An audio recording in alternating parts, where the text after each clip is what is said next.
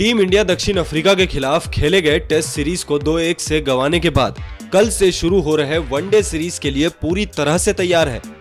One day series के शुरू होने से ठीक पहले रोहित शर्मा ने कहा कि लिमिटेड ओवर के फॉर्मेट में टेस्ट मैच के विपरीत आपको दो कदम आगे की सोच रखनी होती है। रोहित ने कहा कि वनडे मैचों में आपको दो कदम आगे की सोचना होता है। आप गेंदबाज पर दबाव बनाना चाहते हैं। बहुत से क्रिकेटर्स ऐसे हैं जो टेस्ट और वनडे को लेकर एक जैसा सोचते हैं।